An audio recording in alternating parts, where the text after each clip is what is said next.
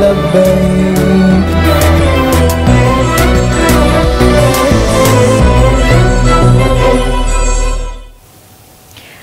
Menteri Agama Yakut Kolil Kaumas mengecek persiapan penyelenggara menjelang puncak haji 1444 Hijriah.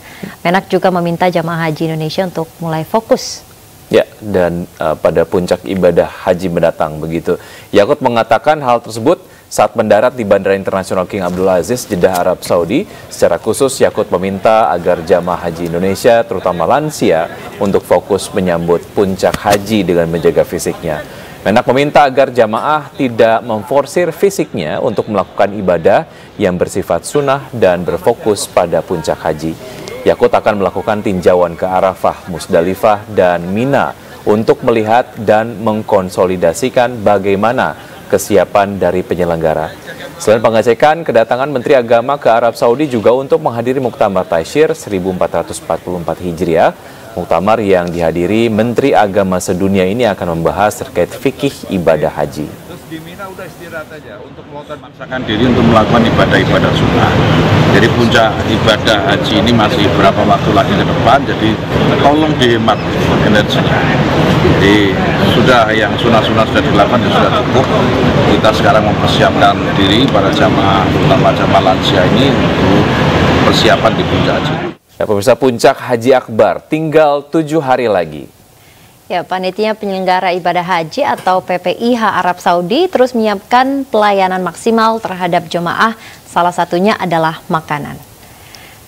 PPIH Arab Saudi mengecek makanan para jemaah dengan tester catering. Makanan yang akan diberikan kepada jemaah ini merupakan makanan siap saji yang sudah dikemas dengan cita rasa Nusantara. Pada saat masyair jemaah mendapatkan makanan sehari tiga kali, menu cita rasa Nusantara ini disajikan untuk jemaah seperti rendang, opor ayam, ikan lele, dan juga bubur kacang hijau sebagai menu sarapan pagi. Layanannya nanti nasinya akan terpisah, jadi ini memang ready meal ya, ready to eat, uh, siap saji, uh, dan ini lebih memudahkan pada saat uh, pelayanan di sana. Dan secara Ya, kami sudah terhubung dengan rekan kami Dewi Murteningrum di Mekah, Arab Saudi. Assalamualaikum, selamat siang waktu Indonesia. Dewi, bagaimana persiapan menuju puncak ibadah haji sejauh ini? Waalaikumsalam warahmatullahi wabarakatuh dan selamat pagi waktu Arab Saudi. Lebih lebih dari 600 petugas haji Indonesia saat ini sedang melakukan mapping untuk lokasi dari Mina hingga Jamarat tempat melempar jumroh untuk melihat langsung bagaimana kesiapan fasilitas dari sarana dan prasarana yang telah disiapkan pemerintah Indonesia untuk jemaah haji Indonesia. Seperti kesiapan tenda ya, yang sebagian sudah terpasang serta telah disediakannya pendingin ruangan dan sebagian kasur serta lampu ruangan juga telah terpasang. Penambahan 10 toilet di setiap maktab juga telah disiapkan sehingga total toilet yang disiapkan adalah 40 toilet dan dan 10 keran untuk di setiap maktabnya. Lalu KKHIA, Klinik Kesehatan Haji Indonesia juga telah mempersiapkan lebih dari 90% fasilitas untuk mem memfasilitasi kesehatan jamaah haji Indonesia. Sedangkan saat ini eh, pemerintah juga telah mengatur skema pemberangkatan petugas haji dan para jemaah haji. Seperti pada tang ada terdiri dibagi menjadi tiga skema pada tanggal 24 hingga tanggal 25 Juni. Pergerakan petugas haji ke Arafah sudah dimulai. Sedangkan 8 Zulhijjah sehari sebelum puncak haji, pergerakan jamaah haji dari hotel ke Mekah ke Arafah dimulai dari pukul 7 hingga pukul 10 malam waktu Arab Saudi. Sedangkan di puncak haji di tanggal 27 Juni, jemaah haji mulai wukuf di Arafah dan lepas zuhur sampai asar. Dan selanjutnya sekitar pukul setengah tujuh malam waktu Arab Saudi, jemaah haji mulai mulai diberangkatkan dari Arafah ke Musdalifah untuk mengumpulkan batu lempar jumroh. Proses ini diperkirakan berlangsung sampai tengah malam. Selanjutnya dari tanggal 28 Juni hingga 1 Juli jemaah haji melakukan makbid dan lempar jumroh di Mina. Begitu Wiki. Baik, terima kasih atas laporan Anda, Dewi Murtiningrum, langsung dari Arab Saudi. Tetap jaga kesehatan dan selamat bertugas kembali. Ya pemirsa, meski sumber air zam-zam berada di Makkah, namun para pengunjung Masjid Nabawi di Madinah tetap bisa meminum air zam-zam. Ya betul sekali 400 ton air zam-zam didatangkan dari Mekah dan dikonsumsi sebanyak sejuta gelas setiap harinya dan jumlah ini semakin meningkat saat musim haji.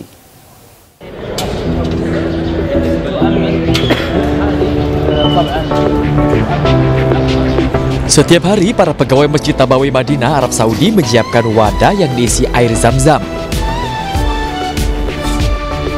Di masjid yang dibangun Nabi Muhammad SAW ini ada sekitar 3.000 pegawai, yang salah satu tugasnya adalah menyiapkan air zam-zam untuk pengunjung masjid. Air zam-zam disuplai langsung melalui saluran air yang terbentang dari kota Mekah ke Madinah, berjarak lebih dari 450 km. Air zam-zam ini diolah terlebih dahulu agar kebersihannya terjamin. Air zam-zam ini ditempatkan di berbagai sudut Masjid Tabawi, baik untuk diminum di tempat maupun dibawa pulang. Tersedia air zam-zam yang dingin dan biasa. Dalam sehari, sebanyak sejuta gelas air zam-zam dikonsumsi pengunjung masjid. بشكل يومي تأتي مياه زمزم بشكل يومي من مكة المكرمة إلى المدينة المنورة عن طريق 22 صهريج طبعا 400 طن بشكل يومي يتم سكبها داخل حاويات أو حافظات مياه زمزم Tak terkecuali, Masjid Nabawi juga menyediakan tempat pengambilan air zam-zam yang dikhususkan untuk kalangan lansia dan penyandang disabilitas. Jumlah jamaah yang mengkonsumsi air zam-zam ini semakin meningkat saat musim haji dan saat bulan Ramadan. Dari Madinah, Arab Saudi, Dewi Murtiningrum, iNews melaporkan. Pemirsa umur memang tidak bisa mengalahkan semangat untuk beribadah kepada Sang Pencipta. Ya, seperti enam jemaah calon haji di Makassar, Sulawesi Selatan ini yang berumur satu abad diberangkatkan ke Tanah Suci bersama ratusan jamaah lainnya.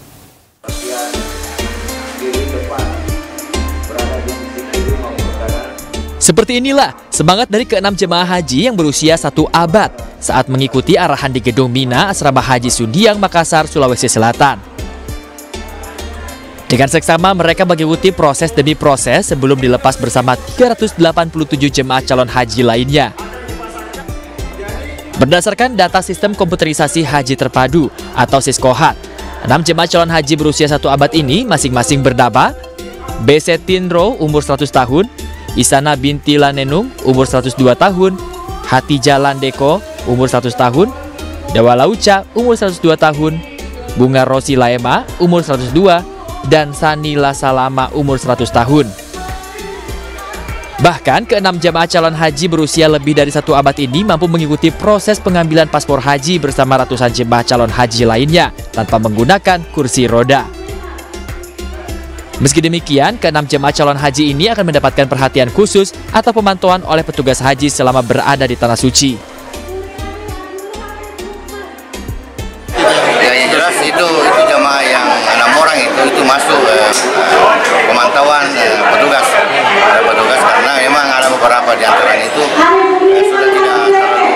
Bagus tingkatannya, sehingga memang butuh perhatian khusus. Ya Alhamdulillah eh, sehat ya namanya orang tua tentu keterbatasannya ada untuk bisa beraktivitas fisik sebagaimana orang yang masih muda. Setelah menerima paspor haji dari petugas imigrasi, keenam jemaah calon haji berusia lebih dari satu abad ini juga turut menaiki bus dengan dibantu oleh sejumlah petugas PPIH Embarkasi Makassar. Selain itu, jemaah calon haji lansia lainnya yang menggunakan kursi roda diberangkatkan menggunakan mobil ambulans menuju ke Bandara Sultan Hasanuddin Makassar untuk diberangkatkan ke Tanah Suci Jeddah, Arab Saudi. Dari Makassar, Sulawesi Selatan, Wahyu Ruslan, iNews melaporkan. Pemirsa seorang polisi di Kabupaten Bojonegoro, Jawa Timur sukses menjalankan usaha ternak kambing di tengah pekerjaan utamanya. Ya, bahkan menjelang Hari Raya Idul Adha, ia pun kebanjiran order. Seorang pemuda berusia 27 tahun warga desa Sumber Agung, Kecamatan Dander, Bojonegoro ini kebanjiran order kambing jelang Hari Raya Idul Adha. Bisnis ternak kambing dilakoni pria bernama Argita Sukmaregawa sambil menjalani profesi utamanya sebagai polisi. Argita yang berpangkat Brigadir 1 atau Bribtu ini berdinas di Polres Bojonegoro. Untuk keperluan Hari Raya Kurban 29 Juni mendatang, Argita mengaku sudah mendapatkan pesanan 70 ekor kambing. Sementara hingga saat ini stok yang ia punya masih sekitar 100 ekor kambing. Untuk harga yang ditawarkan bervariasi tergantung jenis dan beratnya. Untuk jenis kambing gibas dijual seharga 2 juta hingga 4 juta rupiah per ekor, sementara untuk kambing Jawa dijual seharga 3 juta hingga 6 juta rupiah per ekor. Untuk tahun ini permintaan hewan kurban sangat ada peningkatan dibanding tahun-tahun sebelumnya karena mungkin pada saat ini juga sudah terlepas dari masa pandemi untuk harga sendiri bagaimana? Untuk harga kita bervariatif mas, mulai dari 2 juta sampai dengan harga 4 juta ada untuk yang jenis gibas, untuk yang jenis Jawa mulai harga 3 jutaan. Tak hanya melayani pemesanan warga Bojonegoro saja, Argita juga melayani pesanan kambing bagi warga di luar Kabupaten Bojonegoro. Dari Bojonegoro, Jawa Timur, Dedi Mahdi, iNews melaporkan. Pemirsa sapi berukuran jumbo berjenis Brahman milik peternak di Kabupaten Bandung Barat terpilih menjadi hewan kurban Presiden Jokowi tahun ini. Ya, sapi ini memiliki tinggi kurang lebih 165 cm dengan bobot mencapai 940 kg. Sapi jumbo milik Ayi ini merupakan satu dari tujuh ekor sapi di Jawa Barat yang masuk dalam daftar surat rekomendasi sapi bantuan masyarakat untuk keperluan hewan kurban Jokowi pada momen Idul Adha tahun 2023. Pendataan sapi di Bandung Barat digelar oleh Dinas Perikanan dan Peternakan, kemudian di kolektif Dinas di Pemkap Bandung Barat untuk kelayakan dan perawatan ekstra, mulai dari pakan, kebersihan hingga kesehatan. Sementara itu pemilik sapi bangga karena sapi jumbo miliknya terpilih untuk keperluan kurban Presiden Jokowi. Beratnya Pak? Beratnya 940-an. Jadi berat terakhir ya Pak ya, hmm. yang dilaporkan gitu. Ini gitu? Ya, kasih makan yang banyak, hmm. uh, mandi tiap hari, hmm. udah vitamin. Vitamin, vitamin termasuk uh, pencegahan dari LSD itu ya, ya Pak ya? Ya, ya. Ayi mengaku jika sapi dibeli Presiden 85 juta rupiah. Sapi berjenis Brahman itu awalnya dibeli Ayi dari pasar hewan di Purwakarta dan selama satu tahun ke belakang ia rawat hingga akhirnya tumbuh hingga memiliki bobot serta postur yang sangat baik. Dari Bandung Barat, Jawa Barat, Yuwono Wahyu, iNews melaporkan.